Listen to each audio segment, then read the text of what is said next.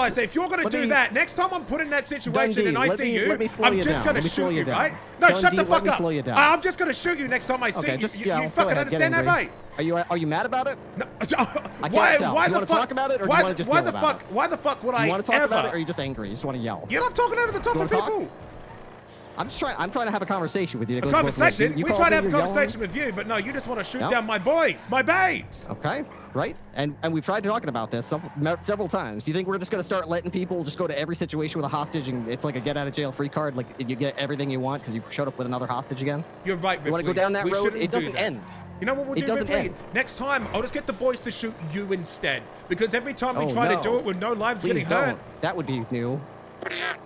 Please don't shoot me with a gun. I'm terrified now.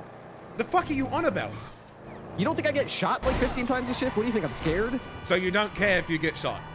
Not anymore. Honestly, it used to matter. It doesn't right now.